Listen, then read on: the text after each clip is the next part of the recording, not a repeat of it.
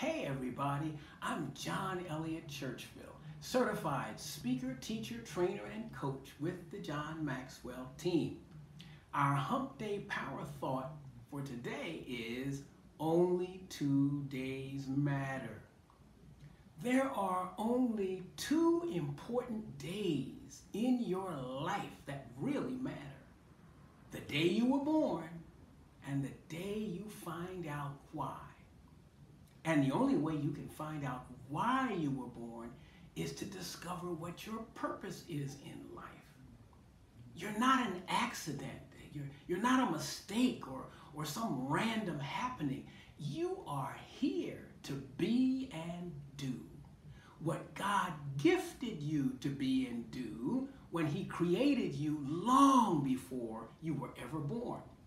You have within yourself everything you need to carry out your divine purpose on earth.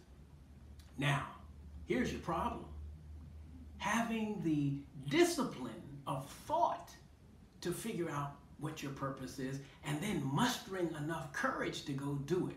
Ah, but that's where I come in to coach you based upon your specific goals, your personality, your learning style, and your communication preferences.